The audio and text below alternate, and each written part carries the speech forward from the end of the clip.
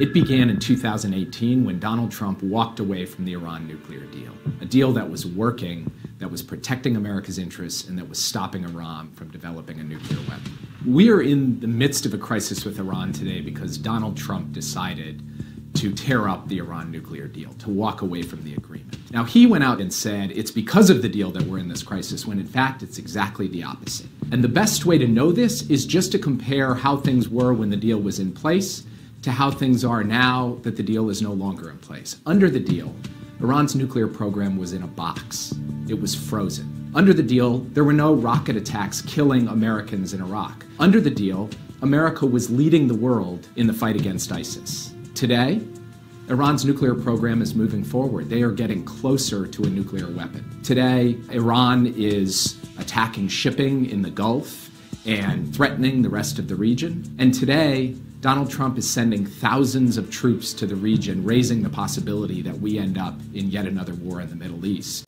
Diplomacy with Iran is not easy. I know. I negotiated with the Iranians. I sat face to face with them over the course of many years. And this is going to be a painstaking, difficult process. But diplomacy is a heck of a lot better as an option than the current options that the Trump administration has pursued, which has been a path of provocation, escalation, and violence. And that is going to get us nowhere good. So let's get back to diplomacy because that is how we ultimately secure America's interests. For now, the Iranian attacks against U.S. forces have stopped. Our presence in Iraq is stable. I emphasize for now because all of that can change. And the Middle East region is quieter today than it has been in two decades. Now, challenges remain Iran's nuclear weapons program the tensions between Israelis and Palestinians. But the amount of time that I have to spend on crisis and conflict in the Middle East today compared to any of my predecessors going back to 9 11 is significantly reduced. Biden's national security advisor, Jake Sullivan, he's another beauty, bragged to the, this is like a couple of days ago, like yesterday. He bragged to a foreign policy audience, to quote, the Middle East region is quieter today than it's been in two decades. Oh, how's that working out? They just attacked Israel. And it's been a hotbed beyond that, even beyond that.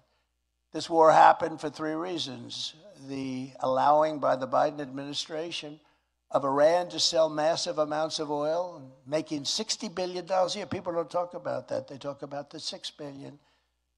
But they gave them $6 billion in ransom money. We got six, they got six. We got five, they got five. But then what happened is they also got $6 billion.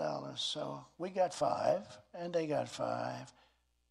And on top of the five, they got $6 billion. Somehow, that's not a good deal.